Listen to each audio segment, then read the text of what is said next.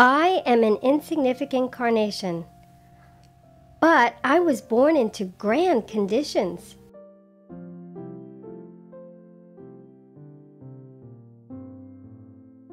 It was my destiny that I would be part of a murder of a man that would change the nation.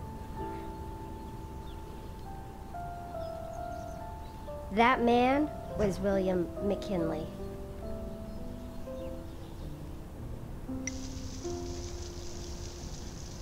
McKinley put his faith in the luck of red carnations. This man of great influence would go nowhere without his carnation.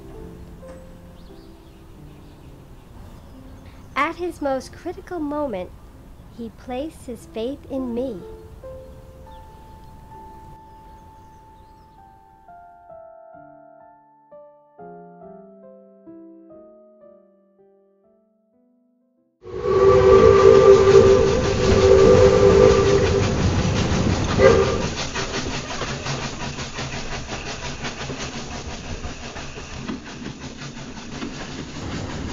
I found myself staring out into a shifting land. A land I could once define by its fixed familiarity was now surging by, becoming unrecognizable in its transformation.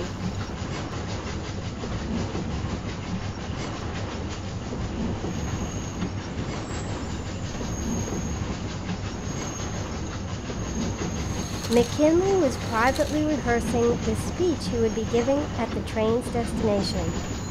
A place I heard spoken about with much excitement by those aboard the train. The Pan American Exposition. This was a celebration of the future.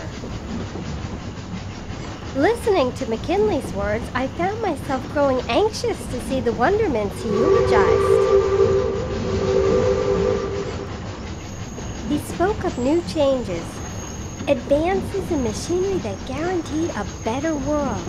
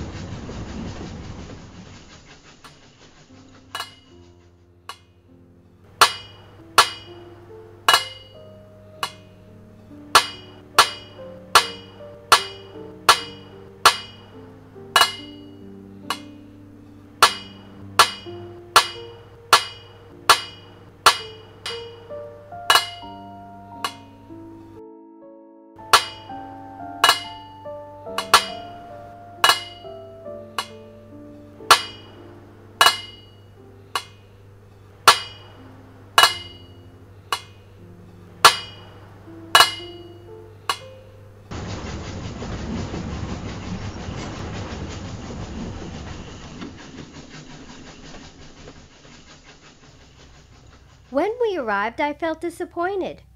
I was left in that dark train car and I feared my journey would end there. But the following day, I was met with good fortune. McKinley's hand hovered over the basket and finally settled on me.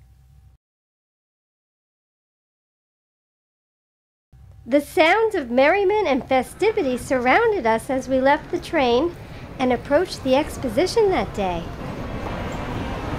The affair was a magnificent spectacle, far beyond what I had imagined.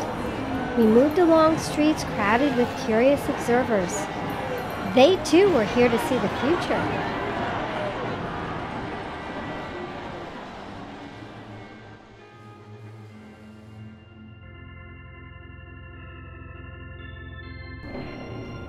We arrived in the middle of the massive Temple of Music, since McKinley was scheduled to greet visitors to the exhibition here.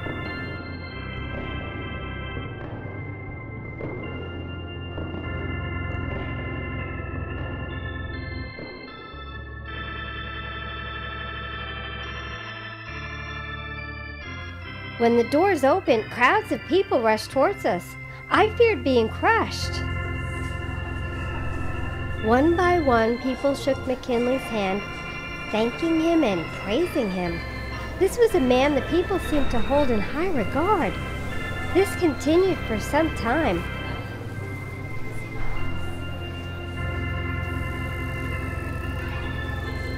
Until a little girl stepped forward.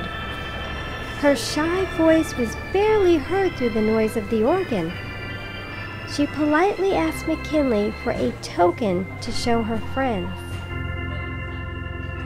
The room seemed to fall into silence as he slowly lowered himself to the ground, and to my surprise, he removed me from his jacket. He gently placed me into her tiny hands, and her face lit up with a smile. The girl held me with such pride. We walked away from McKinley when suddenly two shots and screams resonated from the ceiling of the temple. The crowd fell into panic. We looked back to McKinley, but I had difficulty seeing what was happening. I glanced through the crowd at McKinley being carried out. Anger, outrage, and fear traveled through the crowd.